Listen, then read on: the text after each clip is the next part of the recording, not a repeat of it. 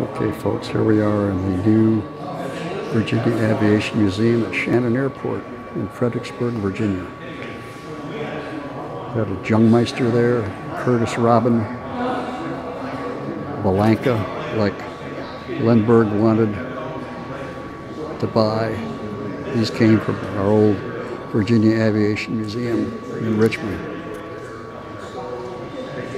Vultee V1, which is the only one left in the world.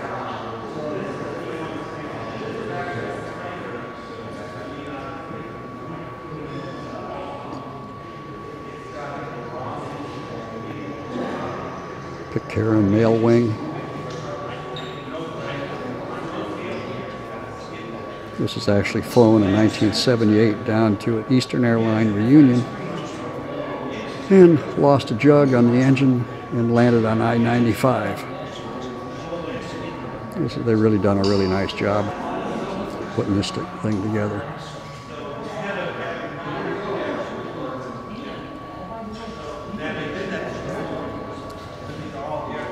The old time golden age of aviation.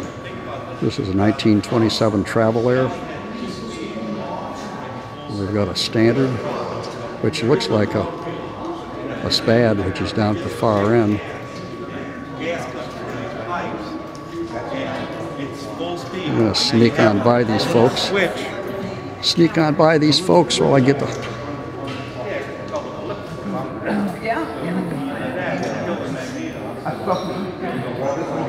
And we got one hanging from the ceiling.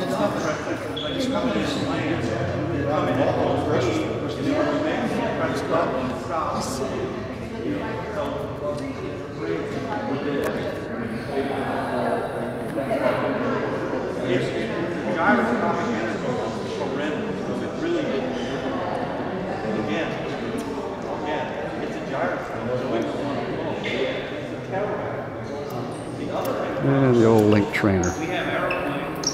Many, many of us learned to fly instruments in sitting on the ground.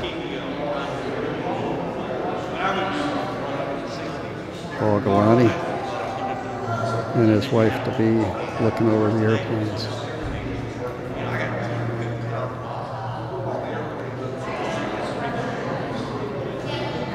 Engines on an airplane today like 2,000 hours